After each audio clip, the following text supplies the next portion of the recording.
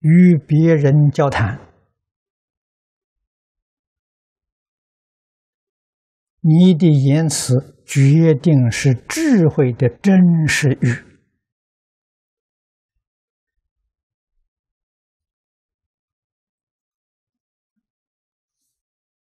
智慧的语言不是学来的，到哪里去学？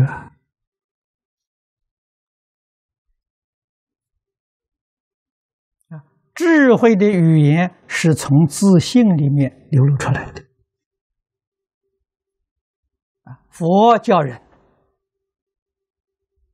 要求明心见性，啊，修净土的人也不例外。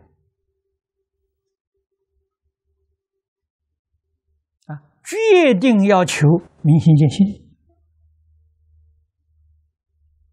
心性是一切众生。本有的，不是从外来的。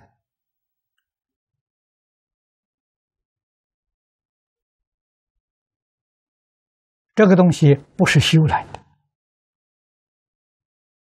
啊，是你自信本来具足的。那么现在我们为什么心不明啊，心不见呢？